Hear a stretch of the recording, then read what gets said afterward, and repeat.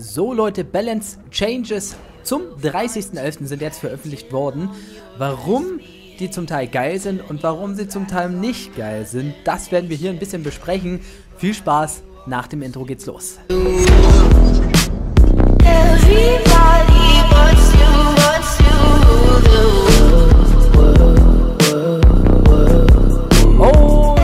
Alrighty, sehr liebe Freunde und damit herzlich willkommen zu einer neuen Folge schlecht sprechen mit mir, dem Basti.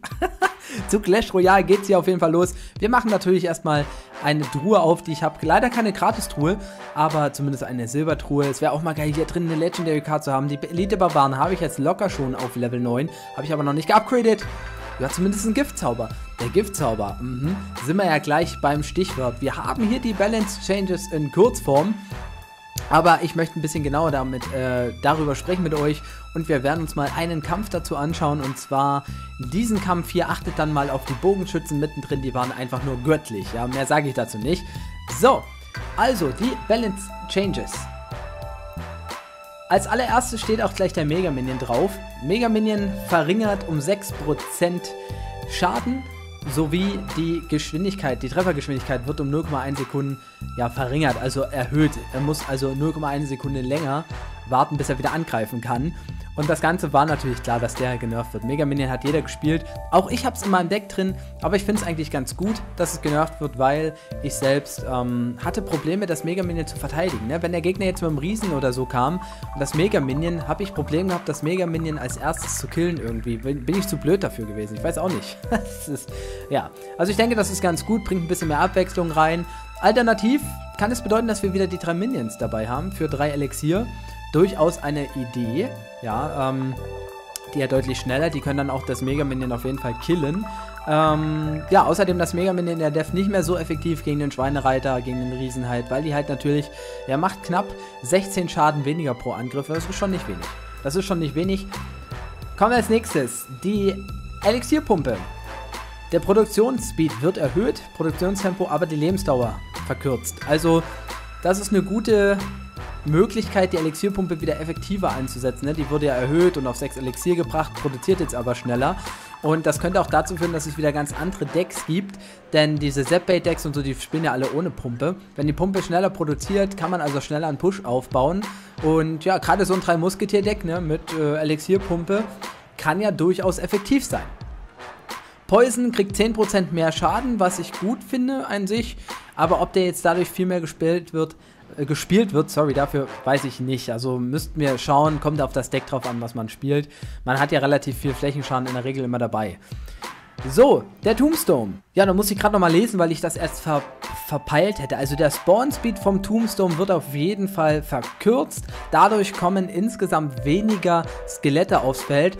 Und das finde ich an sich auch gut, denn ja, ich, ich habe sehr oft zu kämpfen gehabt äh, mit meinem äh, Grabstein gegen äh, Hock und Fire Spirits. Und wenn ich nicht gerade mal einen Sepp oder einen Kampfholz dabei hatte, haben die halt meine Defense kaputt gemacht und haben immer noch relativ viel Schaden auf den Tower gekriegt.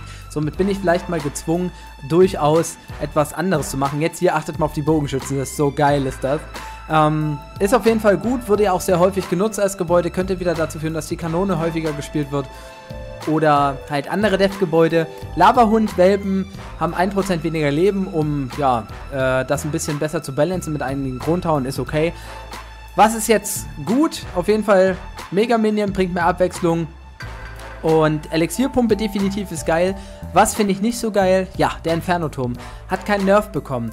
Ist gerade, ne, Skelettkram wird schwächer, werden die Leute mehr Inferno-Turm spielen, aber man denkt halt auch, okay, wenn dann der Elektromagier dann mal kommt, dass natürlich der Inferno-Turm da auch ein größeres Problem kriegt, deshalb noch keinen Nerf. Also ich weiß nicht, ob der vielleicht trotzdem noch einen Nerf kriegen wird, ob es nochmal ein anderes Balance-Chains gibt, aber ich glaube, das wird dazu führen, dass es noch mehr Inferno-Turm-Spieler gibt und ganz ehrlich, wer findet Inferno-Turm-Spieler geil? Also ich selber habe auch noch nie wirklich mit dem Inferno-Turm gespielt. Ich werde es mal ausprobieren. Ich will mal gucken, ob das irgendwie was bringt oder so. Aber ja, das sind erstmal alle Changes. Also hier sind sie nochmal zusammen. Meine Maus hängt gerade, aber ist egal. Ähm, Grabstein Erscheinungstempo verringert.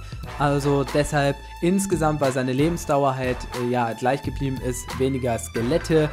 Ja, Gift, hm, na, weiß ich nicht. Also beim Gift kann ich es echt am gar nicht einschätzen. Aber gut, ich hoffe, es kommen noch ein paar. Ich könnte mir echt vorstellen, dass so ein, so ein drei Musketier-Deck mit der besseren Elixierpumpe sehr interessant wird. Ähm, ach, hier habe ich zum Beispiel ein Inferno-Ding. Das Deck habe ich noch gar nicht gespielt. Das wollte ich mal austesten, aber da fehlen mir eigentlich noch zwei Karten, die ich dazu haben will. Hashtag äh, Grabstein, Hashtag Inferno-Drachen. Dann würde ich nämlich den Inferno-Turm rausnehmen. Das wäre ein geiles Deck auf jeden Fall. Aber hier, ne, Natürlich, das Mega Minion ist noch drin, Grabstein noch drin, da müsste man sich noch Alternativen einfallen lassen, aber ich denke, daraus kann man auf jeden Fall was Geiles basteln. So, was habt ihr für eine Meinung zu den Balance Changes? Dann haut sie einfach mal rein, was ihr so denkt. Ich denke, das ist ganz geil, auf jeden Fall ein guter Step. Und ich freue mich drauf und hoffe, ihr seid da mit dabei. Ne? Das war's dann erstmal von mir. Haut rein, Leute, macht das Tschüss und Servus. Euer Basti.